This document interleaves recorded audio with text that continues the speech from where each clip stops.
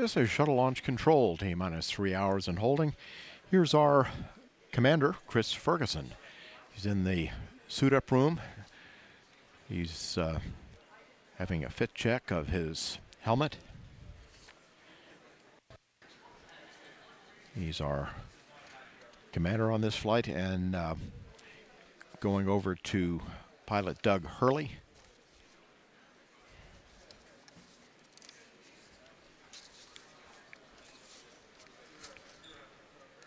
This is his second trip into space.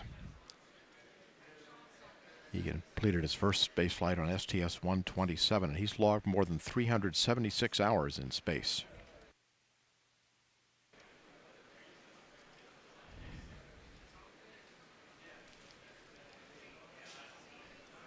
And here is mission specialist number one, Sandy Magnus. This is her third space flight. She spent more than four months in space aboard the International Space Station. She flew on uh, STS-112, logged uh, 11 days in space, and then uh, four and a half months after uh, being on board the space station as a member of the Expedition uh, uh, 18 crew. This is Rex Walheim. He's our mission specialist number two. He's making his third space flight. He's spent more than 24 days in space on STS-110 and STS-122, and he's had five spacewalks totaling more than 36 hours. And uh, he's served very effectively as the chief of the EVA branch. So the crew now is uh, finishing their suit-up activities, and they are scheduled to leave for the launch pad in just about 25 minutes. And here they come.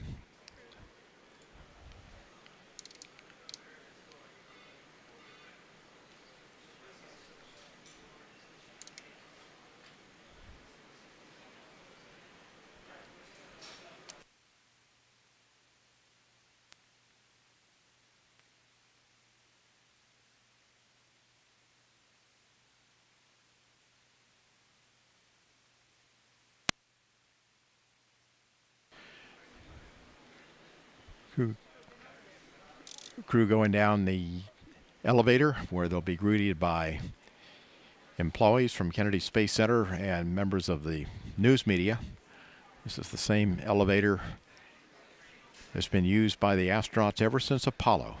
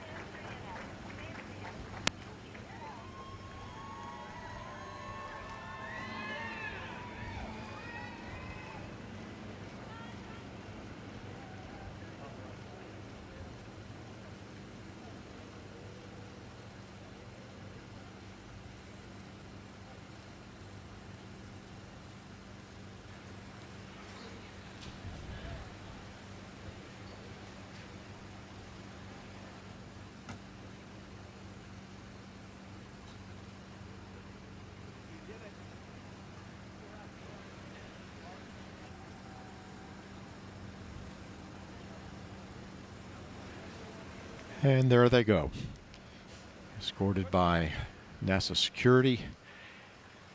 Also be a helicopter flying overhead.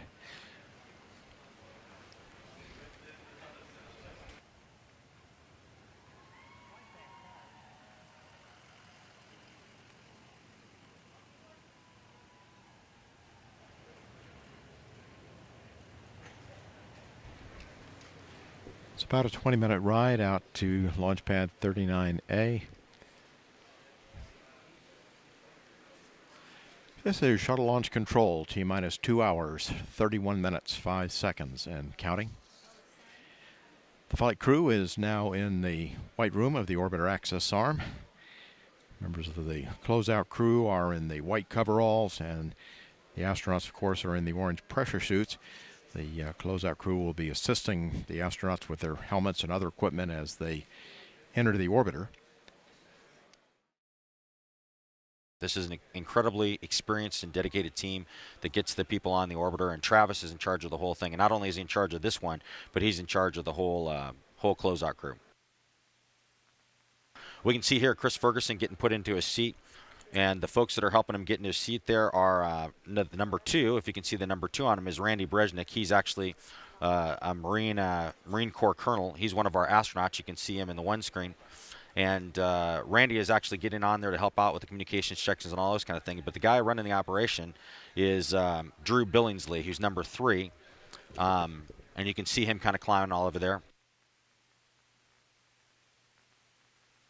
If you look in the view there, you can see Chris Ferguson right in front of us and uh, kind of behind uh, to the right, kind of leaning over is Randy Bresnik, number two, and now disappeared from sight is Drew Billingsley. He's called the flight deck crew insertion technician, the one that gets him on the upstairs born in Santa Monica, California, and grew up in Huntington Beach. Uh, served in the U.S. Army. He's been in this role for a long time. Uh, he was initial uh, suit tech in STS-86 back in 1997. What they're doing as they go through here is, uh, as Chris gets in the seat, there's probably about nine different connections that need to be made, both uh, to the vehicle itself as well as uh, within his own gear there. And as you can see, we're pretty much as astronauts just hanging back and letting them do it. The best thing we can do is let these professionals do their job. So you can see Chris is just concentrating on getting his hands out of the way and making sure that Drew has access to uh, what he's working over on the right there is his liquid cooling. Uh, you've got all the straps that have to come around. A, it's a five strap harness. You have to get the uh, parachute, which is what you're seeing there. Randy has the close one and uh, Drew has the far one. You got the parachute straps that are waiting for you. The parachute's already in the seat when you get in. They put those over the side and they connect those in. You'll see a real good shot of that right here. You'll see them connected into the um, to the uh, straps that Chris is already into that he came in with his um, his chest strap and everything. So that gets connected there, and they're essentially doing all these connections to make sure he's nice and uh, nice and snug in there and all ready to go.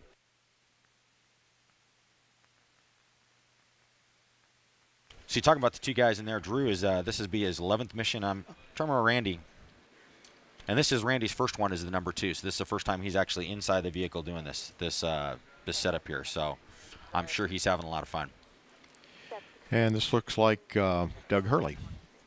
Yes, it'd be Doug Hurley uh, going in, Marine uh, Colonel. He is uh, is the pilot on this flight. This is his second flight. Flew a few years ago on 127.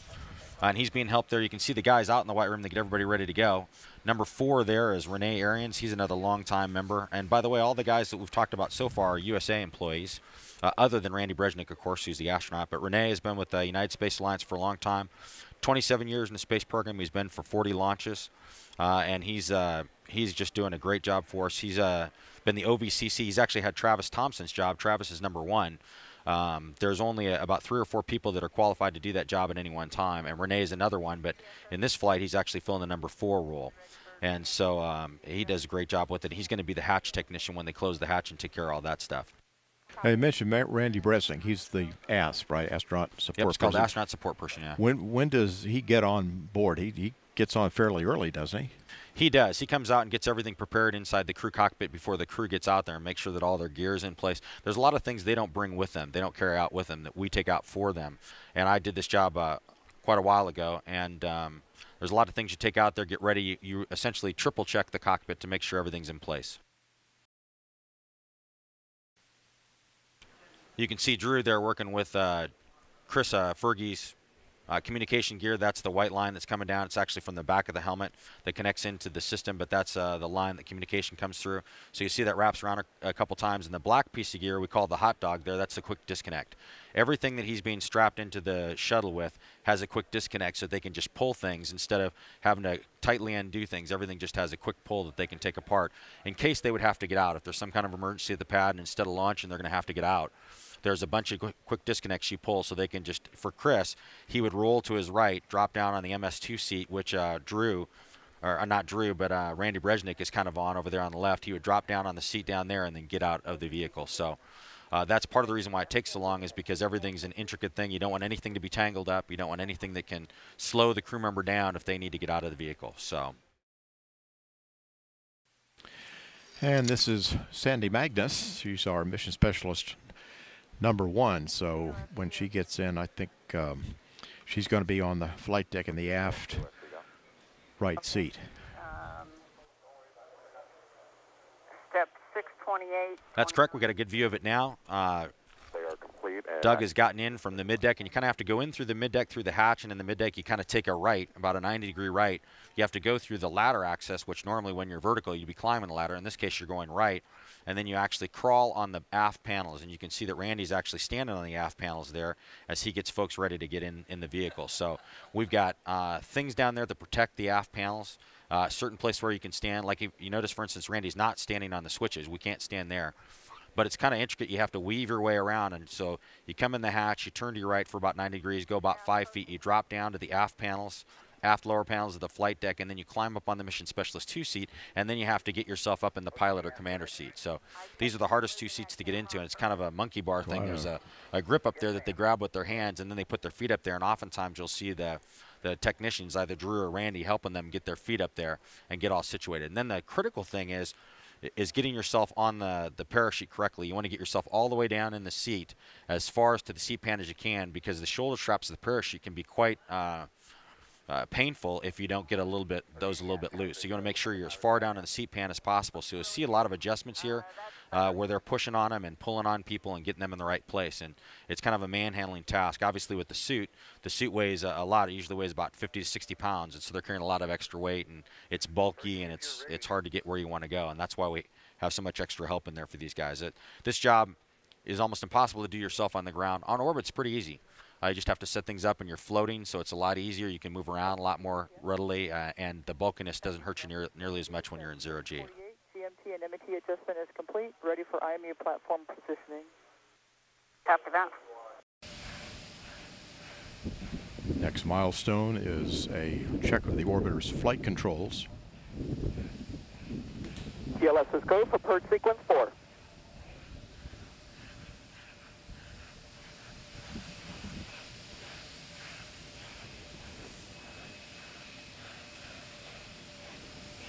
And there will be a steering check of Atlantis's three main engines.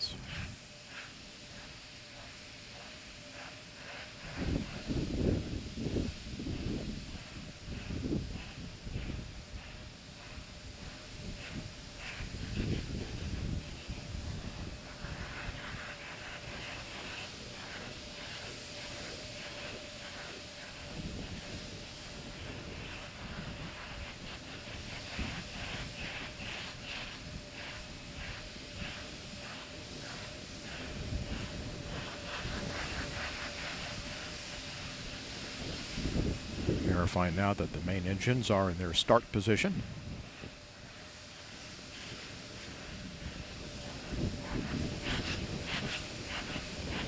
TLS is go for ET LO2 pressurization. Starting now the retraction of the gaseous oxygen vent arm, the vent hood.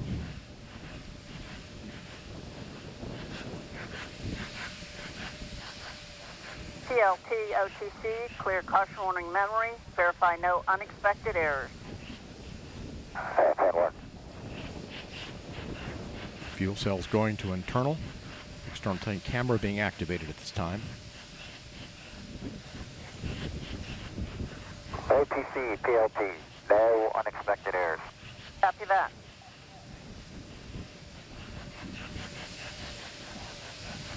Flight crew OTC, close and lock your visors and initiate O2 flow. That's in work. T minus two minutes. TLS is go for ET LH2 pressurization. Solid rocket booster camera is being activated.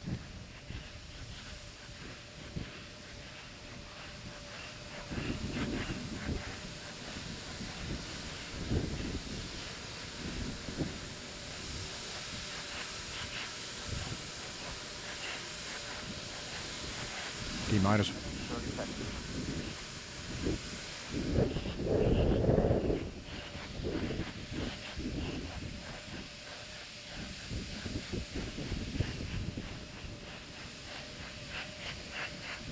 Sound suppression water system is being armed.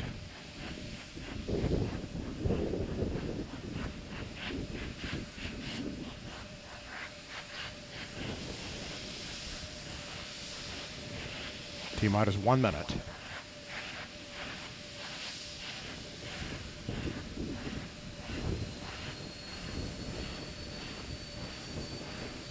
But oxygen and liquid hydrogen fill and drain valves are closed.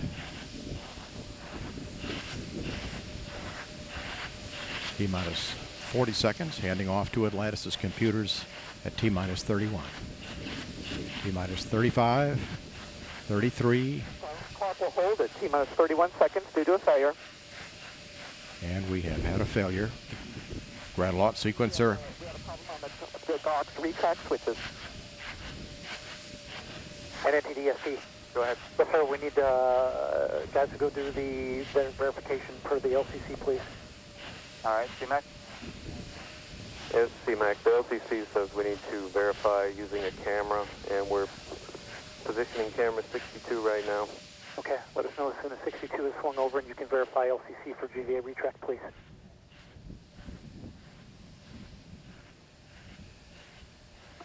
And all personnel, we're holding here 31 seconds while we get a verification that the GVA has fully retracted per our pre-plan. This is CMAC, we verify uh, retracted. Okay, and you can verify that it is fully retracted per the, uh, the instructions that we've been uh, that we developed, correct? That's correct. All right, and SPE. And NTD, SPE concurs. They satisfy the requirements of GSC 13 pre-plan contingency. I am go. Okay, I copy. And launch director. Yes, sir. I heard all that and concur. Press on. All right, very good. NTD, SPE. Yes, sir. Yes, sir. I need concurrence to GLS and mass to clear the hold, please. Very good. And GLS, you have concurrence. Go. Copy that. It's in work. Thank you. Let us know when that's complete.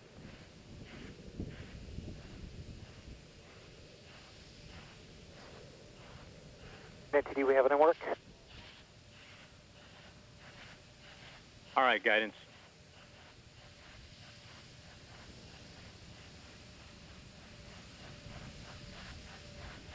Just a reminder for folks, our uh, lock turn back hold time is 3 minutes and 16 seconds.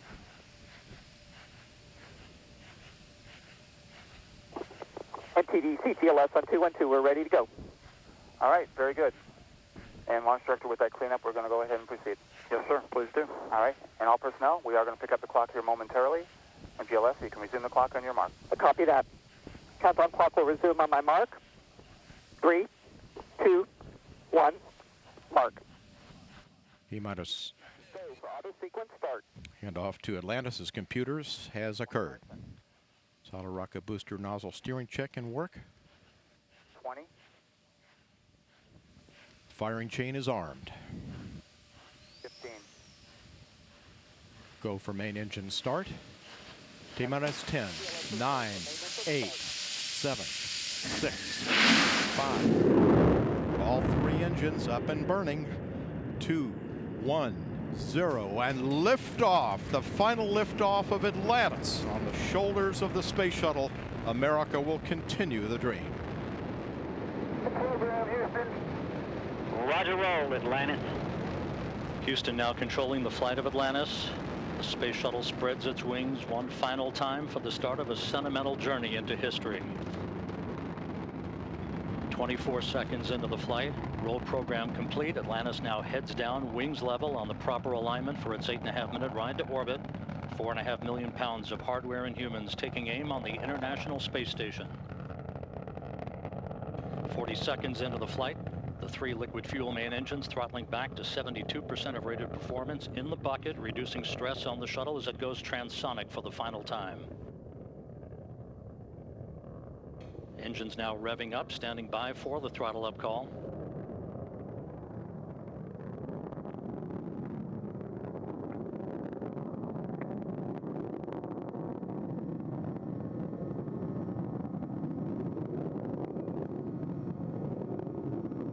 Atlantis, go at throttle up, no action, DPDT. Go with throttle up, no action on DPDT. That call from Capcom Barry Wilmore, a transducer, instrumentation only, no action required.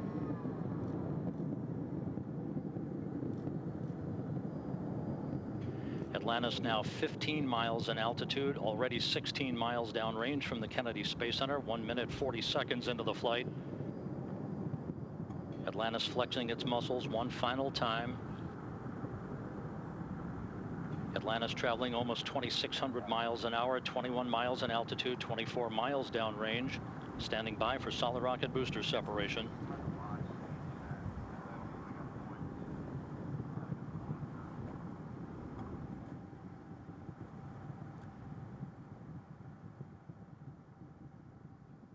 Booster officer confirms staging a good solid rocket booster separation.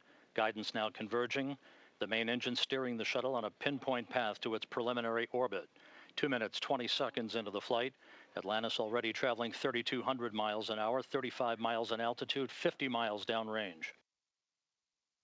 The propulsion officer reports the orbital maneuvering system engines have ignited. Atlantis kicking on its afterburners for 1 minute 23 seconds for the final phase of powered flight. Atlantis, two engine TOW. Two engine TOW. That call from Capcom. Single pane day, so the, in the event of contingency, you're in plane plus 230 on the ecal page. No com VIs when you're ready to copy. Okay, in plane plus 230, go ahead. Press to ATO, 10 decimal 8. Press to MECO, 14 decimal 7. Press to ATO, 10 decimal 8. Press to MECO, 14 decimal 7. That's a good read back, Atlantis. Because of the slightly late launch time, Capcom Barry Wilmore reading up to pilot Doug Hurley the updated abort boundaries for Atlantis, which is flying on the singular power of its three liquid fuel main engines, draining a half a ton of fuel per second from the shuttle's large fuel tank. Three and a half minutes into the flight, Atlantis traveling 4,200 miles an hour, 54 miles in altitude, already 120 miles downrange from the Kennedy Space Center three good main engines, three good auxiliary power units, three good fuel cells for Atlantis.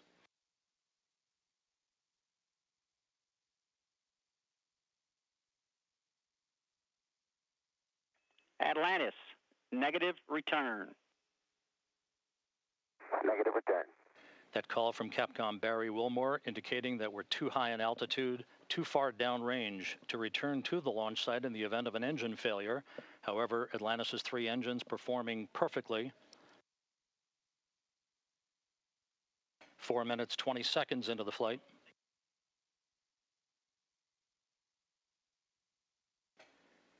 Atlantis currently traveling 5,500 miles an hour, 62 miles in altitude, almost 200 miles downrange. Four minutes of powered flight remaining. Atlantis speeding straight as an arrow toward its date with the International Space Station Sunday morning.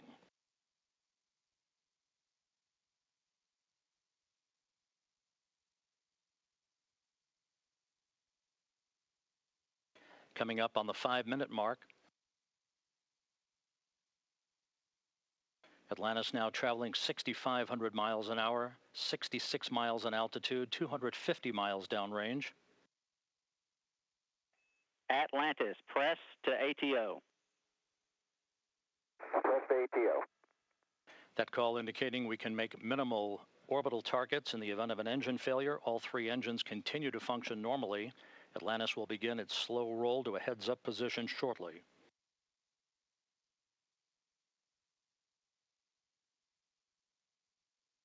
Five and a half minutes into the flight, Atlantis traveling 7,700 miles an hour, 315 miles downrange. Atlantis, single engine, ops 3. Single engine, ops 3.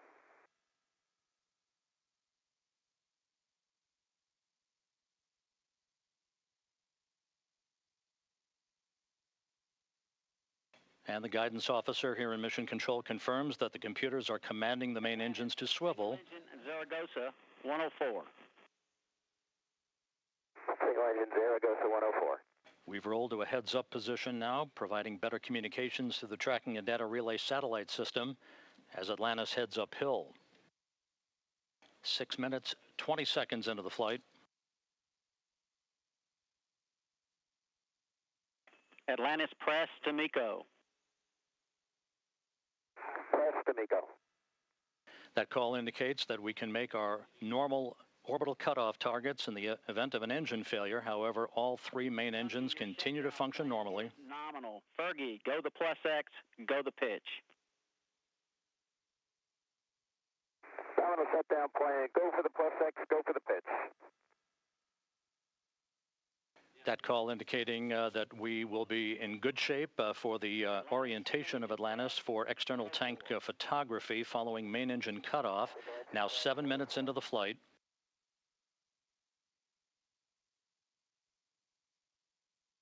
One minute, 20 seconds till main engine cutoff. Atlantis traveling 12,000 miles an hour.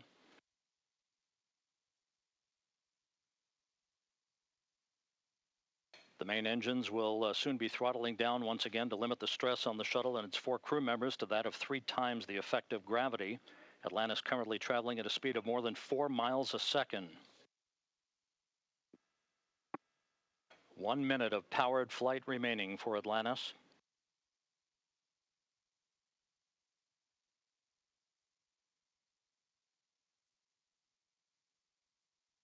Three good main engines, three good auxiliary power units, three good fuel cells.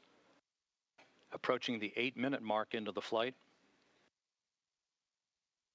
Atlantis now traveling more than 15,000 miles an hour.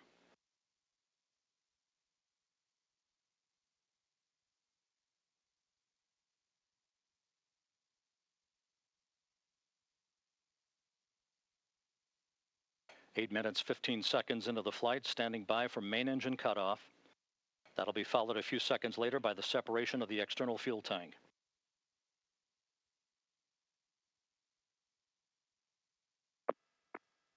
Booster officer confirms main engine cutoff. For the last time, the Space Shuttle's main engines have fallen silent as the shuttle slips into the final chapter of a storied 30-year adventure. Now standing by for external tank separation.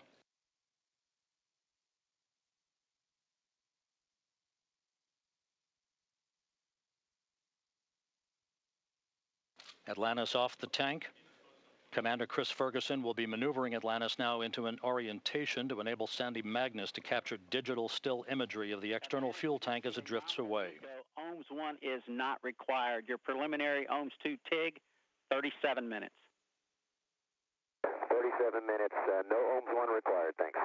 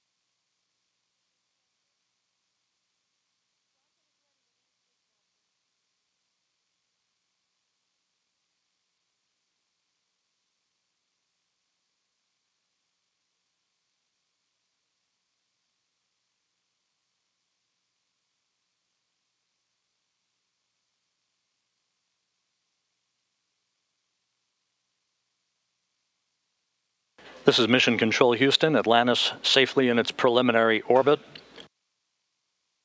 Following a flawless launch from the Kennedy Space Center, albeit about two and a half minutes late at 10:29 uh, a.m. Central Time. The launch slightly delayed uh, while engineers at the Kennedy Space Center confirmed uh, the complete retraction of the gaseous vent arm at the launch pad.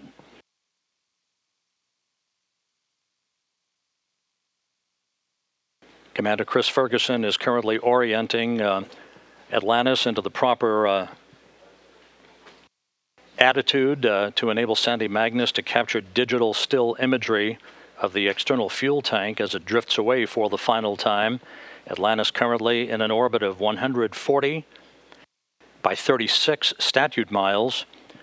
That's the preliminary orbit uh, that will be increased in altitude at its apogee through the firing of the orbital maneuvering system engines 26 minutes from now.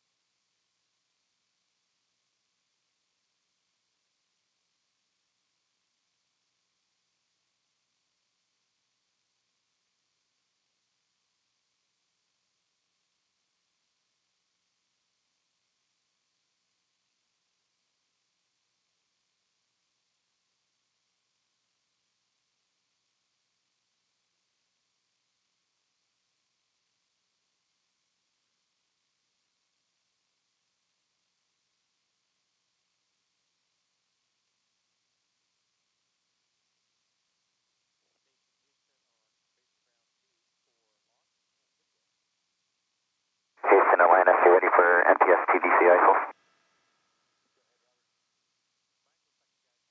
That's affirmative, Chunky. We are ready.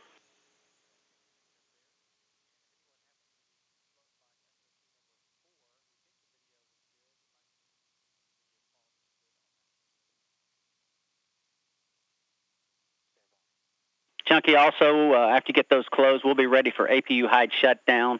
On 3-4, the only delta is tail-only control is not required.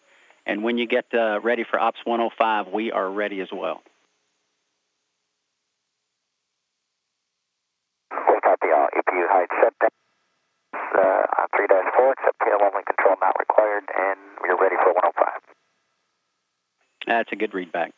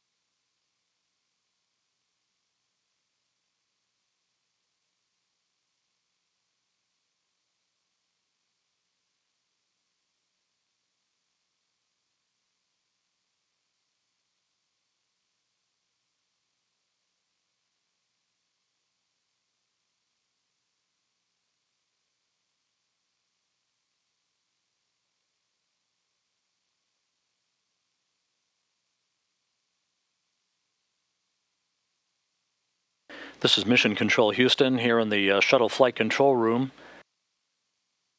Post insertion activities underway under the direction of Ascent Flight Director Richard Jones, uh, second from your right, who presided over all of the work that was done associated with uh, making sure that the weather was acceptable for launch from a return to launch site abort standpoint for the Spaceflight Meteorology Group. On the far right, uh, Flight Director Tony Ceccacci, he will preside over Atlantis' final entry 12 days from now. Butch Wilmore, Barry Wilmore, the Capcom, the spacecraft communicator, uh, in the uh, dark shirt, and on the far left, Lee Archambault, uh, the astronaut who was in uh, direct contact with Deputy Chief Astronaut Rick Sturckow. Uh, Sturckow was assessing the weather and real time observations as he flew the shuttle training aircraft around the vicinity of the Kennedy Space Center in the final hours prior to launch.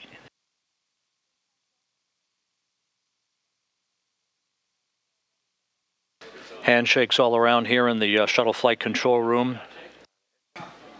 As we uh, move into the post-insertion time frame, uh, the initial phase of getting Atlantis set up for orbital operations, The uh, countdown clocks here in uh, Mission Control currently ticking backward to the first firing of the orbital maneuvering system engines in what is known as the OMS 2 burn, uh, just a bit under 22 minutes from now.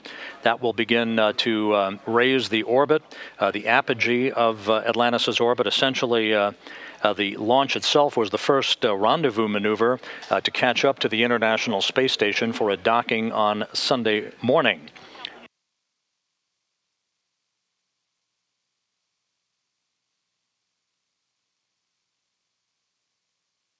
With uh, Atlantis in the early minutes of its uh, final flight and the final flight in the history of the shuttle program, uh, we're going to go back down now to the Kennedy Space Center at the launch site for uh, replays of uh, today's launch uh, that occurred at 10:29 a.m. Central Time.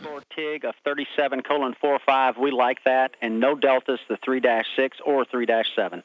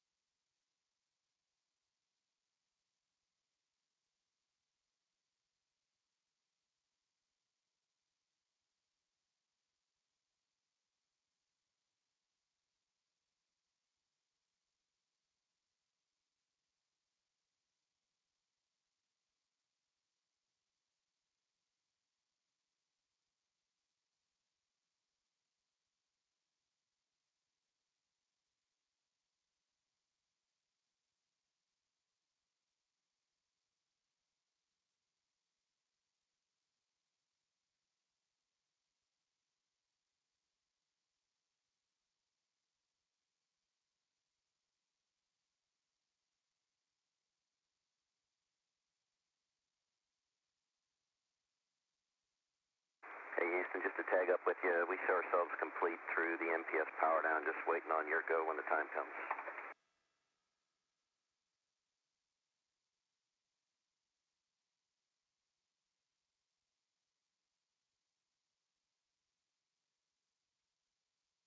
Okay, uh, we are ready for MPS power down when uh, on time. And uh, if you could check the MPS pneumatic helium isol to GPC, that should get them.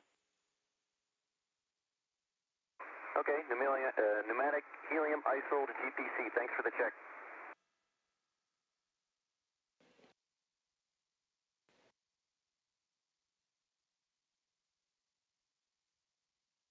As we watch the replays of Atlantis' final launch, Capcom Barry Wilmore talking to Commander Chris Ferguson on board Atlantis. The uh, main propulsion system has been shut down. The uh, external tank umbilical doors uh, have closed. The auxiliary power units have been shut down. Everything going well. Uh, less than 22 minutes following Atlantis' launch.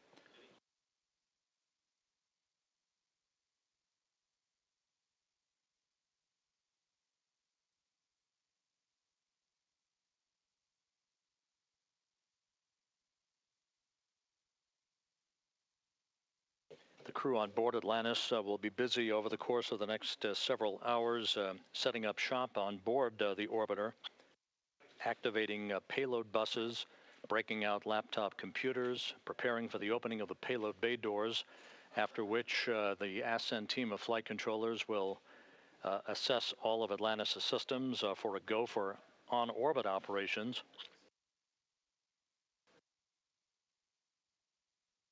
A slightly longer workday than usual for the crew of Atlantis since there are only four crew members on board instead of the usual six or seven. Later in the day, the checkout of the shuttle's robotic arm, along with uh, other activities preparatory to uh, the inspection that will take place of Atlantis's thermal protection system tomorrow, standard customary operations for the second day of any shuttle flight.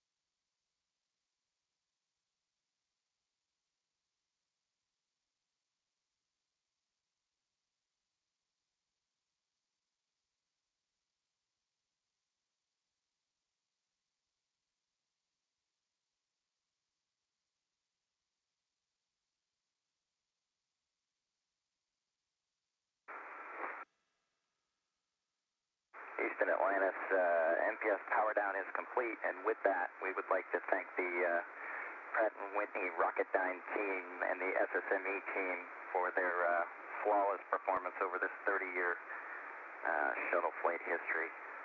135 flights. It's a 7,000-pound engine that puts out one half million pounds of thrust, and they pitch the equivalent of a perfect game every flight. From everyone who's ridden on these rockets, we thank you. Uh, we concur with that assessment, uh, Atlantis. Uh, good and pertinent and uh, true words. We're putting ET umbilical door closure in work, Butch.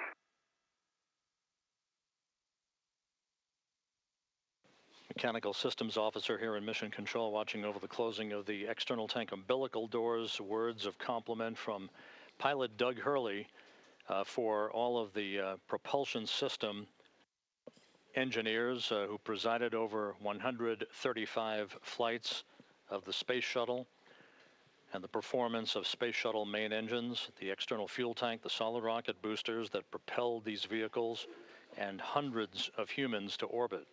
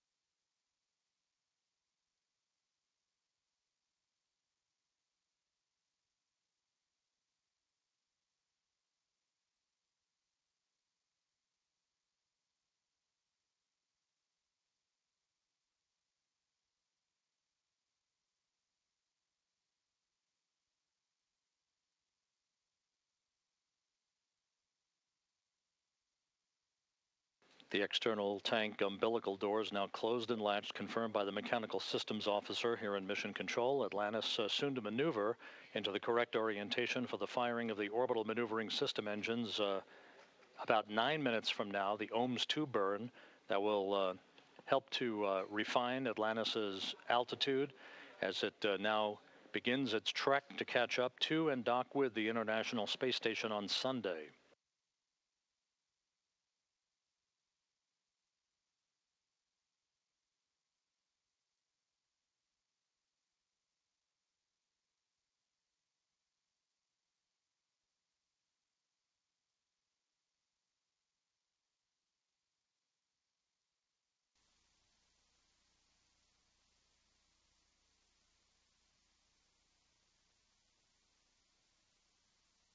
Hey, Houston, we're ready for the maneuver if you are.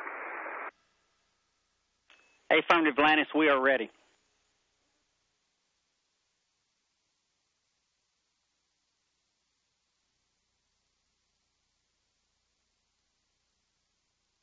Atlantis now beginning to maneuver into the uh, correct orientation for the uh, firing of the orbital maneuvering system engines seven and a half minutes from now.